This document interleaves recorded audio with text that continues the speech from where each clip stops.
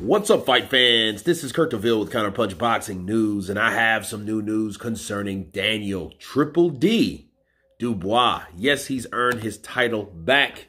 He calls out Anthony Joshua. He says this would be a big fight for the UK.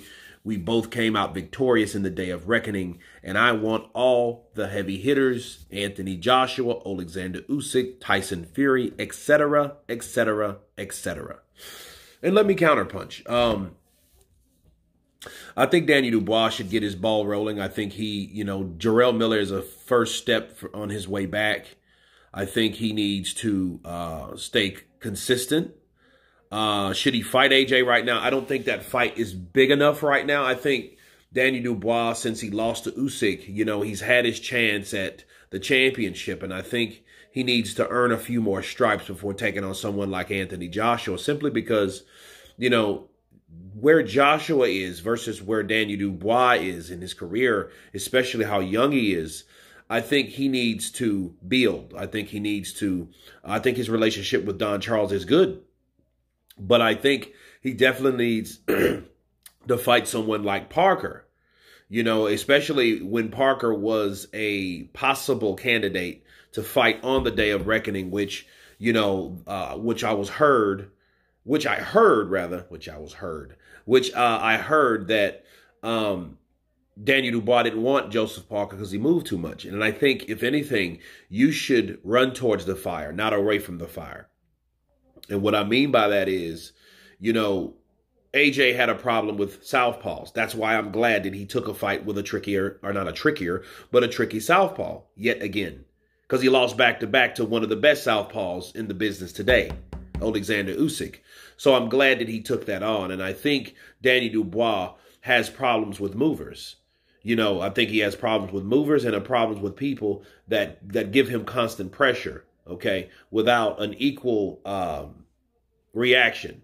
Meaning, if he can't hit a person, you know, pretty much he's going to get to a point where he's going to consider retreat. Okay, so that was Daniel Dubois' problem. And I think someone like Joseph Parker, you know, would be in time a good fight for him.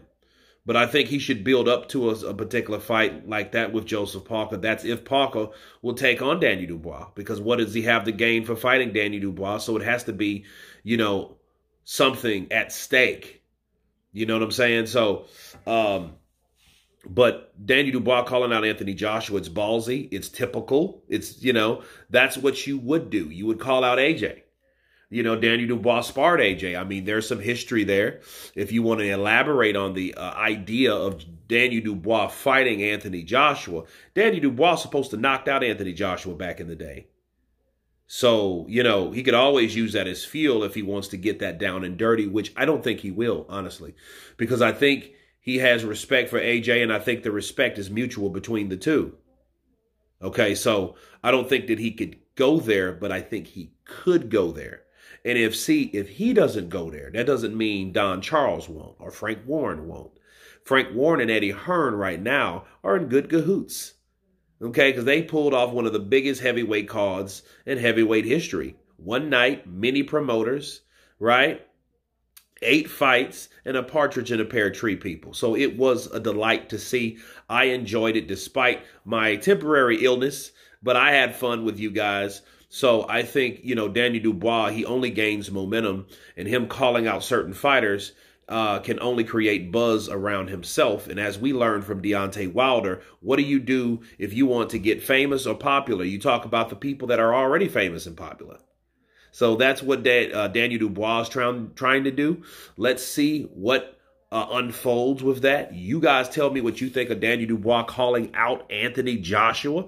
Of course, please subscribe. And you guys been Counterpunch. Peace!